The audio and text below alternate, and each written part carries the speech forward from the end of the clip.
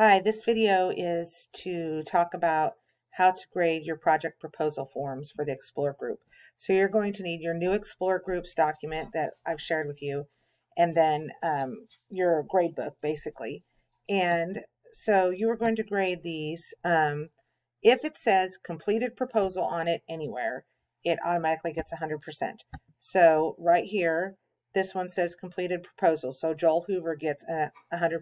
Even though there were other things written on there, those were just comments. His proposal was complete, even though it wasn't, you know, necessarily his uh, competencies weren't quite right or something like that.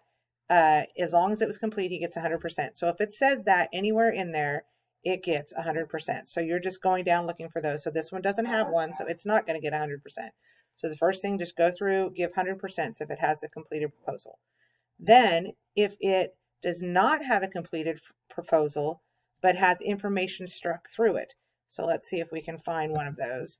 So um, this one right here, he now has his plagiarism statement done, and he now has his missing mentor agreement done, and it's struck through. So that now also, that gets a 95%.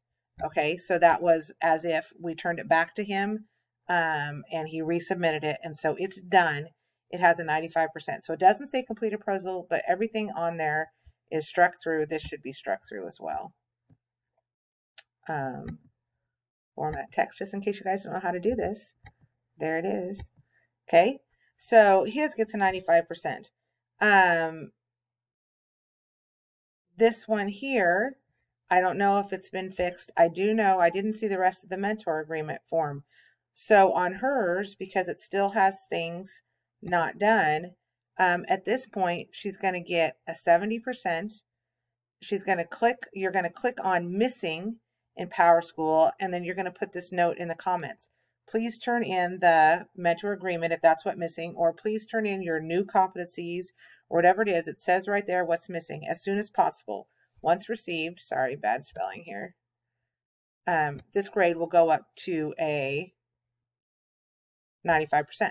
Okay, so we need those to come in and then we can up their grades. So we're telling them, get it done and we'll give you the 95%, but you have got to have it finished and we need to get that soon. So I we decided, I talked to Mr. Funk, instead of putting a zero in there, since they've got their proposals in, we're going to give them 70%. So we don't want to have, you know, 30 kids flunking because they don't have their mentor agreement or they didn't fix their competencies. So um, no completed proposal isn't on there. They don't have anything struck through. They have not finished it off. They need to get that done. Now, we're not grading these till Friday. So if they get it done between here and Friday, make sure you make your comments on that document and you go put their strike throughs in there. If they've got their mentor agreement, strike through it. If they updated their competencies, strike through it. And that's how we know to give them a 95%.